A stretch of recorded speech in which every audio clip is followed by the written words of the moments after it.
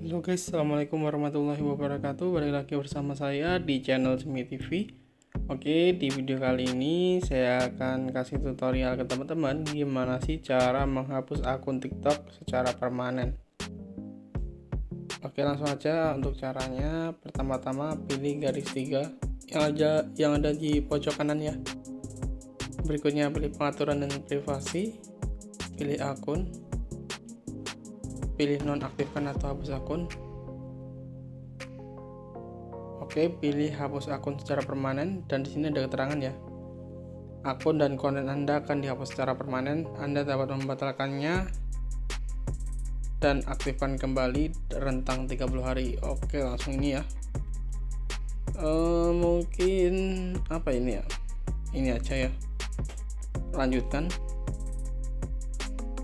Nah, di sini kita bisa lanjutkan aja atau kalian juga bisa minta data dengan minta unduhan ini.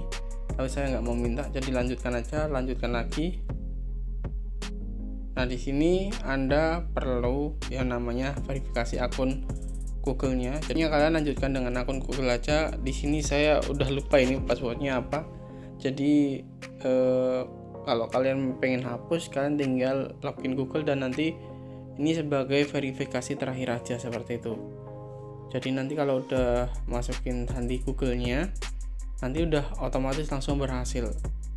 Oke terima kasih. Wassalamualaikum warahmatullahi wabarakatuh